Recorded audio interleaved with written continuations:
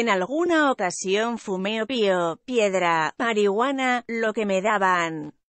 Terminé tomando alcohol del 96 y lociones, declaró el millonario de la novela, el premio mayor. El actor mexicano Carlos Bonavides obtuvo el papel de Huicho Domínguez en la telenovela noventera El Premio Mayor, un personaje que lo catapultó a la fama pero también lo llevó a hundirse en los excesos.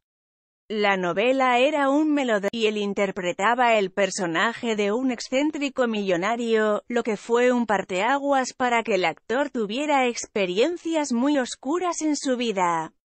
Y es que definitivamente Huicho Domínguez fue una interpretación muy querida por los mexicanos debido a su divertida personalidad.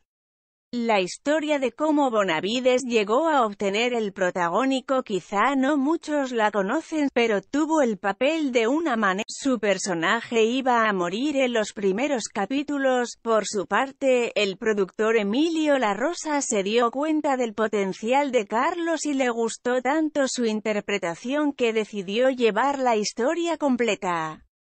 La fama en esa telenovela lo hizo conseguir varios proyectos y fue tanto el peso que cargaba en sus hombros que confesó irse a Garibaldi a tomar sin parar.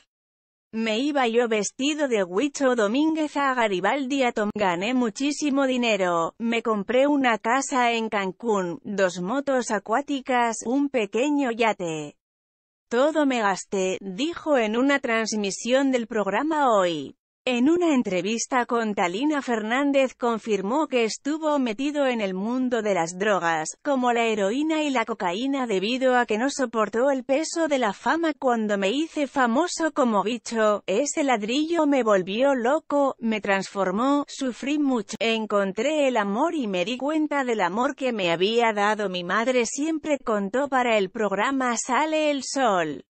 Uno de los momentos más fuertes que el actor tuvo que vivir fue cuando nació su hijo Tadeo, quien ahora tiene 12 años, pues su esposa trató de hacerlo relapacitar respecto a sus excesos. Donde he llorado más es cuando mi hijo nació. Cuando iba a nacer mi mujer me dijo ¿qué vamos a hacer? ¿Vamos a pedirle o te vas a levantar como un hombre? Tras esa fama desmedida y tanto amor del público que no supo manejar, dijo que entró en una etapa donde ya había probado de todo como opio, piedra y marihuana.